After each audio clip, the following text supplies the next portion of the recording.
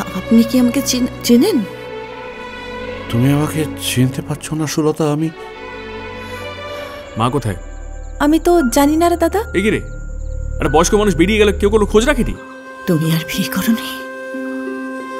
টুকরো কথায় চোখ ভেজে ভাঙছে মনে ঢেউ। আবছা আলোয় যায় সরে ডাকছে দূরে কেউ। পঞ্চাশ লাখ টাকা? পঞ্চাশ লাখ টাকা আমি শোধ করতে পারব না কোনোভাবেই। আর যদি বলি তোমাকে এক টাকাও শোধ করতে হবে না? বাবা হতে গেলে যে প্রমাণ লাগে সেটা তো আমি জীবনে প্রথমবার শুনছি। কোথাও যাবে না তুমি। তুমি আজ থেকে আমাদের সাথে এ বাড়িতেই থাকবে। ফেলে আসা পুরনো স্মৃতিগুলোর হাত ধরে শুরু হলো জীবনের নতুন অধ্যায়।